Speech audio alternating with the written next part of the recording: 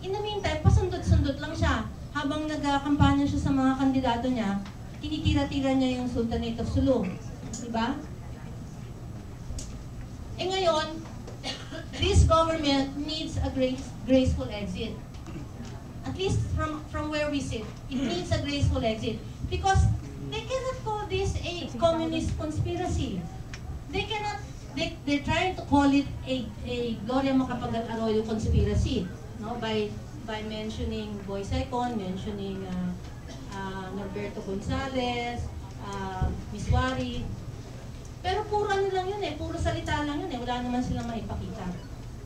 Alam nyo, hindi, hindi ko, hindi ko makuhang isipin na ang mga heirs at followers ng Sulu Sultanate ay pinapagalaw lang ng mga kalaban ng Administrasyong Aquino administrasyong ito. Nagpapagamit lamang.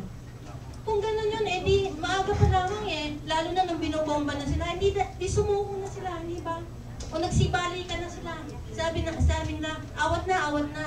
Wala naman kaming balak na invade ng Malaysia.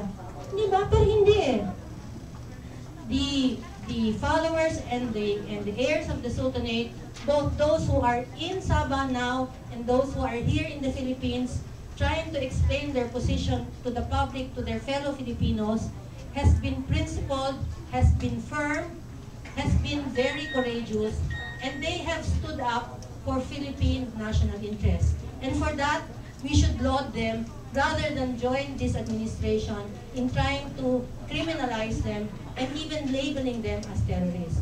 So ang posisyon po ng Bagong Alyansa Makabayan, the Sabah claim is legitimate, it should be pursued, it should be taken off from the back burner. Kung ano man ang mga domestic political interests ng mga iba't ibang mga gobyerno, including yung gobyerno ni Aquino, at anuman ang mga geopolitical interests that are at play here, they should be set aside and the claim should be pursued vig- vigorously and and the and the uh, the grounds for the claim and the explanation for the complicated critical situation we are now in in Sabah be explained and fully ventilated sa mamamayang Pilipino. At kasama po ang bagong alyansang makabayan at lahat ng mga aming alyadong organisasyon na magsusumikap na gawin itong pagpapaliwanag na ito at pag, pagkuha ng suporta ng mamamayang Pilipino. Maraming po salamat.